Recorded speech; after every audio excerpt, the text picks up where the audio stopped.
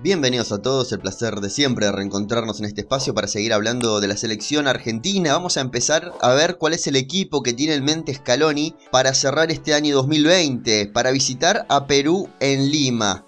El empate contra Paraguay obliga a Scaloni a ir a buscar un resultado de visitante para cerrar el año con una sonrisa, para que no se escape Brasil, para encarar la doble fecha que viene, que es la de marzo, y va a ser la más complicada de toda esta eliminatoria con otra cara porque se viene Uruguay y se viene Brasil en la misma semana. Pero empecemos a desarmar el equipo que tiene el entrenador en su mente. No hay demasiadas variantes como lo venimos diciendo siempre. Intenta que su equipo base llegue con un colchón de 15 o 20 partidos a lo que va a ser la Copa América. Así que intenta modificar lo menos posible de acuerdo a las necesidades que tiene el equipo. El arquero va a seguir siendo Armani y está bien que siga haciéndolo porque está demostrando seguridad. Eh, si bien lo digo en varias ocasiones, quizás tenga menos talento o tenga menos atributos que otros arqueros que están en la selección argentina, ha demostrado de que se puede confiar en él y que no sufre a la hora de actuar. Así que Armani va a seguir siendo el arquero. Montiel en el lateral derecho. La ausencia de otro lateral derecho obliga al entrenador a seguir apostando por Montiel. No está Foyt, no está Sarabia, ambos por lesión han quedado fuera de la lista. Así que hay que utilizar nuevamente a Montiel, que a mi gusto jugó frente a Paraguay para no jugar frente a Perú. Demostró que eh, una competencia cercana le haría bien al lateral derecho de River Plate. Martínez Cuarta va a seguir siendo el primer marcador central y creo que lo va a hacer por mucho tiempo. La verdad que lo de Martínez Cuarta es cada partido mejor. Cada vez que juega Martínez Cuarta se lo ve con más seguridad, vistiendo la camiseta de la selección argentina. Y eso que los partidos de Martínez Cuarta con el seleccionado se cuentan con los dedos de una mano. La verdad que muy a gusto con lo que está demostrando Martínez Cuarta en este equipo nacional. Otamendi va a ser el otro central, no ha sufrido demasiado, no se lo ha atacado demasiado al central del Benfica. Es verdad que en su club no lo está haciendo de la mejor manera, pero está cumpliendo en Argentina. Es verdad que a él, a Di María, a Messi, siempre se le exige un poco más por la trayectoria y la jerarquía con la que están en la selección argentina.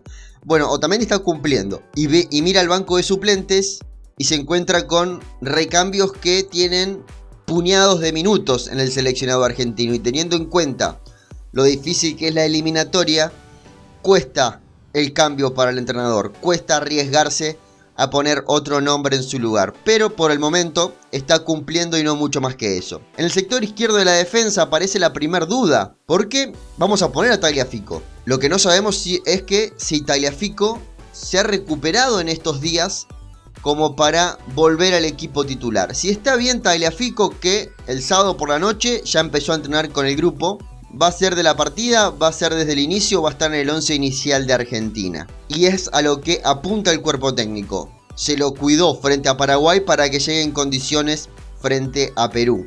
Si no está Taliafico empieza una ronda de opciones bastante diversa. Apostar a un lateral izquierdo más defensivo, como podría ser Facundo Medina o Lisandro Martínez, o repetir lo que se vio contra Paraguay, que es a Nico González. Difícilmente imagino que Nico González vuelva a ser lateral izquierdo, no porque lo haya hecho mal, sino porque se encontró frente a Paraguay con un equipo que lo atacó muy poco. No se lo vio a Romero inquietando a Nico González y sus funciones mayoritariamente fueron ofensivas. Creo que con otro tipo de rival, de visitante en Lima, contra un equipo formado que viene de jugar un mundial, que la verdad que tiene intenciones de ser protagonista de esta eliminatoria, más allá de que el presente no lo acompañe porque no arrancó bien este curso eliminatorio, puede ser algo más complicado para un jugador que habitualmente juega de delantero en su club. La necesidad de Perú obliga a poner un equipo más ofensivo y lastimar quizás el costado menos fortalecido que tendría Argentina. A simple vista no imagino que vuelva a jugar Nico González de lateral este martes y el cuerpo técnico espera a Tagliafico. En la mitad del campo de juego, De Paul no hizo un buen partido, pero imagino que no se va a tocar, forma parte de la estructura básica del entrenador y va a seguir siendo el volante por derecha. Paredes no hay duda, es el único jugador de la selección argentina que ha jugado todos los partidos de la era Scaloni. Y no está Ezequiel Palacios, que parecía también ser parte de esta estructura fija de Leonel Scaloni. En su lugar estará Giovanni Lochelso. La verdad que eh, no es una sustitución que duela tanto desde lo futbolístico porque se vio un Lochelso entero. Se vio un Lochelso productivo, eh, un Lo que le cambia la cara a Argentina, que le dio una sonrisa al equipo, que lo hizo jugar más al fútbol. Así que considero que eh, no habría dudas en ese sector. Es la salida obligada de Palacios y el ingreso prácticamente obligado por el nivel que mostró de Giovanni Lochelso. Nos vamos más arriba, nos vamos a la zona de atacantes. Messi, si llega en condiciones, va a ser de la partida, sin ningún tipo de inconveniente. Y aparece la primera duda futbolística que tiene este equipo para enfrentar a Perú el próximo martes, que es o la presencia de Lucas Ocampos, que fue el titular y que viene siendo el titular en el sector del campo de juego, o aprovechar el empuje positivo que está trayendo Nico González. La verdad que haría un poco de ruido para Nico González de decir, soy delantero, me pones de 3, cumplo, le doy una mano al equipo y hago un gol y me sacás. La verdad que suena algo extraño desde ese punto. Pero la verdad que hay explicaciones tácticas que justifican que Nico González deje de ser titular. Se aprovecha la racha, se aprovecha el momento y quizás Nico es titular justamente por Lucas Ocampos que no tuvo un gran partido frente a Paraguay. Creo que haría ruido ver en el banco de suplentes a Lucas Ocampos y a Ángel Di María.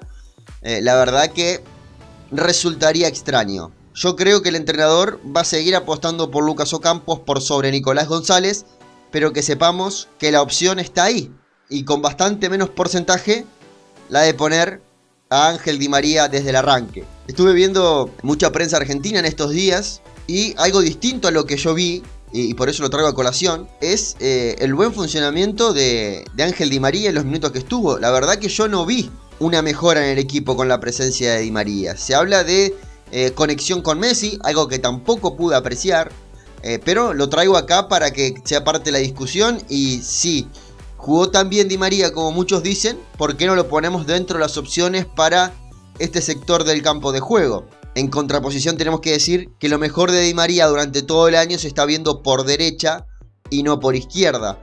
Acá Ocampos o Nico González arrancarían por el sector izquierdo del ataque argentino. Y arriba Lautaro Martínez que si bien no está teniendo partidos brillantes, tampoco está desperdiciando situaciones de gol imposibles de errar. Su conexión con la zona de definición clara eh, no es algo permanente. No lo vemos a Lautaro teniendo la pelota en una zona de definición positiva para el equipo argentino. Así que hay que seguir apostando por él porque hoy por hoy es el mejor 9 que tiene el fútbol argentino. A pesar del buen momento de Alario, eh, creo que Lautaro es un jugador todavía muy joven que si bien es titular indiscutido en la selección argentina hace un tiempo, no deja de ser un recurso de costumbre todavía para Argentina. Porque vamos a lo mismo. Para que tenga este equipo y cada uno de estos jugadores confianza en sí mismo con la camiseta argentina, necesita eh, unos 15-20 partidos con el equipo. Así que creo que el entrenador va hacia eso. A poner lo más posible la base que tiene a pesar de que por ahí el rendimiento no es el que le gustaría. Tiene que ver esto, por ejemplo, la presencia de De Paul. De Paul jugó un partido como para ser reemplazado, pero no creo que lo quite el entrenador, porque apuesta a eso, a que su base más sólida eh, siga adquiriendo confianza, eh, se acostumbre a jugar en conjunto y llegue a la Copa América y los partidos que vienen, porque Uruguay y Brasil en marzo van a ser dos plazas durísimas en este camino hacia Qatar 2022. Así que creo que por acá van los nombres. No creo que se escape de estos 11 que estamos comentando. Me gustaría leer los comentarios qué pensás acerca del 11 de Scaloni.